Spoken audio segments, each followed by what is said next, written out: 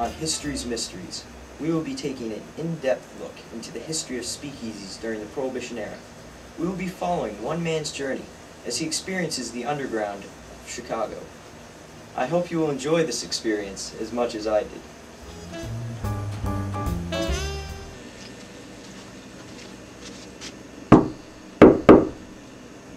Joe sent me. Code words and knocks were often used to gain access to speakeasies as a precaution to keep police and undesirables out. Okay, you can come in.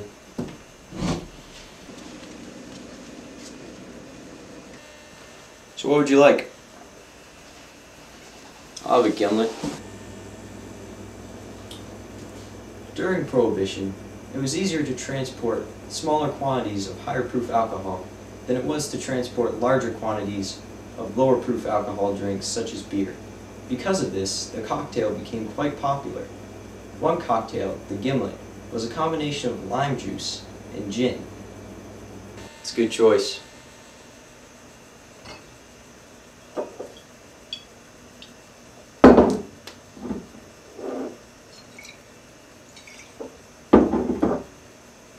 Here you go.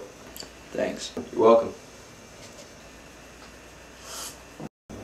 Customers at speakeasies often drank out of inconspicuous containers, such as teacups, to hide the fact that they were drinking alcohol in case of a raid.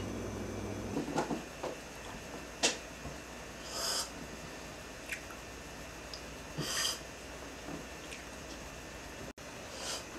think it's time to listen to some jazz. Speakeasies sometimes offered entertainment, such as live music and dancing. Jazz was very popular during this time.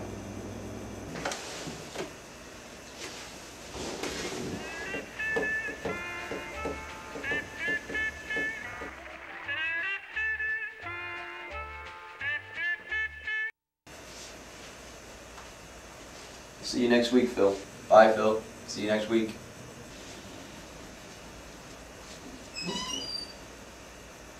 The new shipment's in.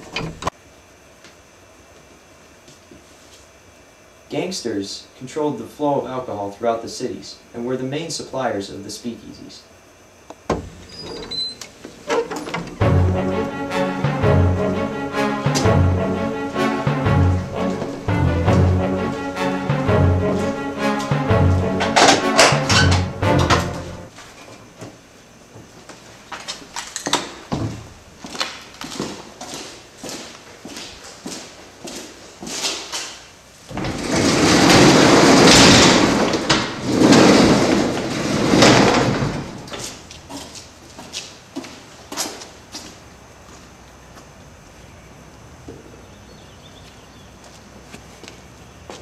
Thanks, boys.